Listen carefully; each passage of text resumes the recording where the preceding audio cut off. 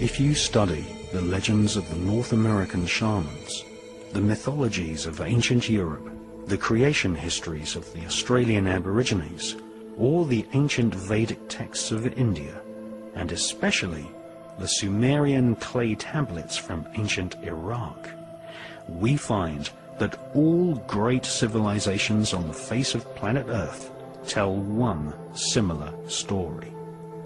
That is, in the distant past, people from the stars visited planet Earth and displayed fantastic technology.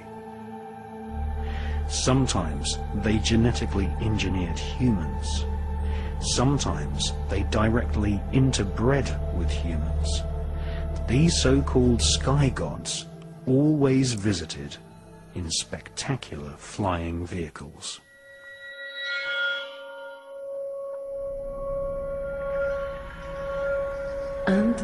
The watchers from the sky saw the daughter of men were beautiful, and they bred with them.